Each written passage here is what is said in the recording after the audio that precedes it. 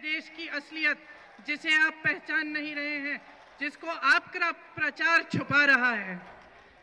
ये असलियत जो आप भुगत रहे हैं, इसके बारे में मुझसे ज़्यादा आप जानते हैं। और जो प्रचार आप देखते हैं, इसका झूठ आप समझते हैं। जब आप सवाल उठाते हैं, आपसे कहा जाता है कि आप देशद्रोही हैं।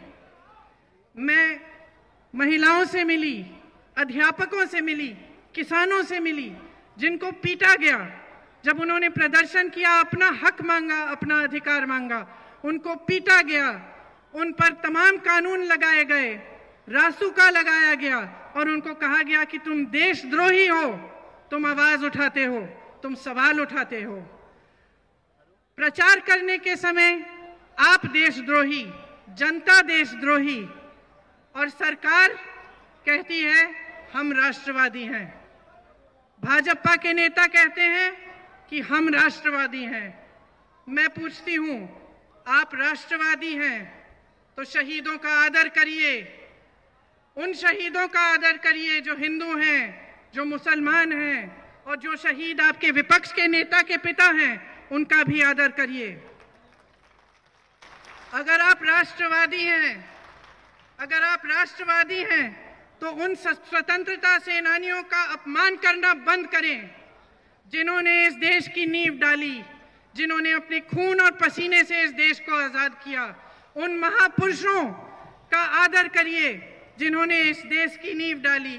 अगर आप राष्ट्रवादी हैं तो चुनाव के समय पाकिस्तान की नहीं हिंदुस्तान की बात करिए, हिंदुस्तान के नौजवानों को बताइए, आप उनके लिए क्या करने जा रहे हैं? हिंदुस्तान की महिलाओं को बताइए कि आप उनके लिए क्या करने जा रहे हैं। हिंदुस्तान के किसानों के लिए कहिए कि आपने कौन सी योजना बनाई है? गरीबों के लिए बताइए, आप उनके लिए क्या करेंगे?